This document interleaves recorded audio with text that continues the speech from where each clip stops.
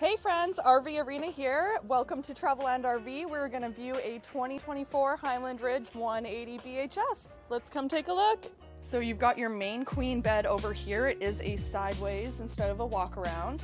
You do have underbed storage, overhead compartments, over here you can hang all of your items. So you have your four person dinette table over here that can transfer into another bed. Storage compartments underneath, well as underneath both sides of the booth dinette. So this is a bunk unit, so you get two single over single bunks that are rated for 300 pounds each. Underneath the bottom bunk, you also have a little storage area. So you get this large kitchen sink here with even a pull out little spray faucet, two burner stove top, an RV microwave, obviously all the extra storage compartments underneath the sink as well. You can fit a little garbage can underneath there, your drawers for your cutlery, some more cabinet spaces up here. So in this one you get a 12 volt refrigerator and with your 12 volt refrigerator you get a standard 200 watt solar panel and a 30 amp charge controller.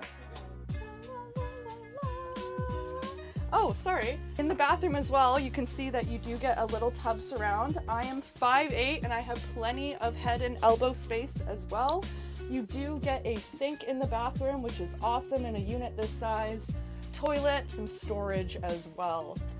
Okay, folks, I hope you enjoyed my walk around video. Again, this is the 2024 Highland Ridge 180 BHS. We are 22 feet, 2 inches tip to tail.